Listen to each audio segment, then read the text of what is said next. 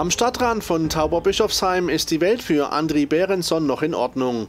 Auf dem großen Grundstück von Matthias Bär und Sita Funkenhauser fühlt sich der aus der Ukraine geflüchtete Familienvater mit seinen beiden Kindern Artemi und Jewgeni sicher. 24 February, 5. Am 24. Februar um 5 Uhr morgens hat sich unser Leben verändert, weil in Kiew plötzlich überall Bomben eingeschlagen sind. Wir haben versucht, uns in Sicherheit zu bringen und haben die ganze Zeit Bombeneinschläge gehört.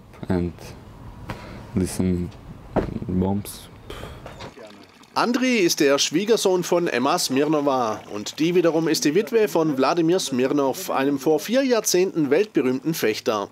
Wie auch Matthias Bär durfte er sich 1982 bereits Olympiasieger nennen. Dann ereignet sich im selben Jahr die bis heute größte Tragödie des Fechtsports. Beim direkten WM-Duell der beiden Fechtstars am 19. Juli in Rom dringt Bärs Klinge in die poröse Maske des Russen ein. Es ist ein tragischer Unfall, den Smirnov nicht überlebt. Jetzt sind die Nachkommen des verstorbenen Russen bei seinem damaligen Gegner untergekommen.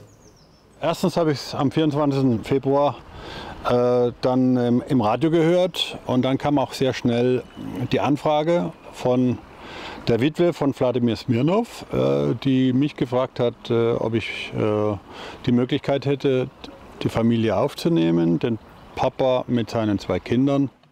Andris Frau war im Vorjahr verstorben. Deshalb durfte der Familienvater überhaupt erst aus der Ukraine ausreisen. We take our clothes and sit in the car and go. We don't know. Wir haben ein paar Klamotten gepackt und sind mit dem Auto erstmal einfach weggefahren. Wir sind dann zu meinen Großeltern gefahren und sind da drei Wochen lang geblieben. Oma and um, mein Opa. Yeah, and uh, three weeks we were at their home. Am 9. März macht sich Andri Behrenson mit seinen beiden Kindern schließlich auf den Weg nach Deutschland. Über Warschau kommt die Familie am 14. März nach Würzburg und lebt seitdem bei Matthias Bär und Sita Funkenhauser in Tauberbischofsheim. Immer in Angst um die daheimgebliebene Familie. Ich muss sagen, sie sprechen sehr wenig drüber, um nicht zu sagen fast gar nicht. Das ist vielleicht auch so ein bisschen so ein Selbstschutz.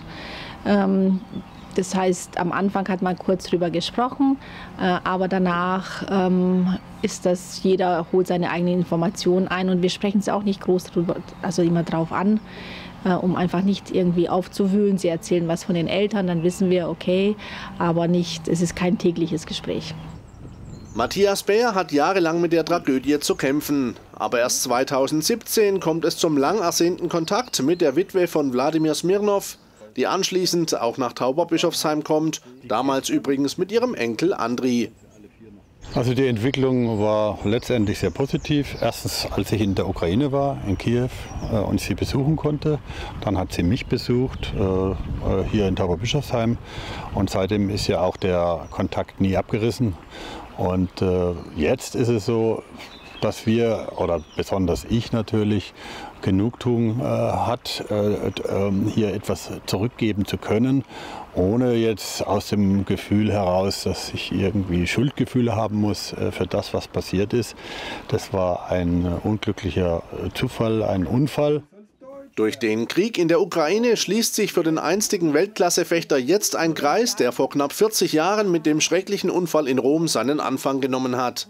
Er schaut positiv nach vorne, genau wie seine ukrainischen Gäste, die in ihrem Heimatland momentan keine Perspektive mehr sehen. No, because Im Moment können wir uns nicht vorstellen, zurückzukehren in die Ukraine. Wir wissen nicht, wie es daheim nach dem Krieg aussehen wird. Wir wollen hier in Deutschland bleiben, weil wir hier einfach mehr Möglichkeiten haben. more possibility. Yeah. Artemi ist ein vielversprechendes Fußballtalent, das bereits bei den Würzburger Kickers mittrainiert und auch schon von der TSG Hoffenheim angesprochen wurde. In den kommenden Tagen geht es für die kleine Familie aber erstmal in eine eigene Wohnung, dank der Unterstützung von Matthias Bär und Sita Funkenhauser.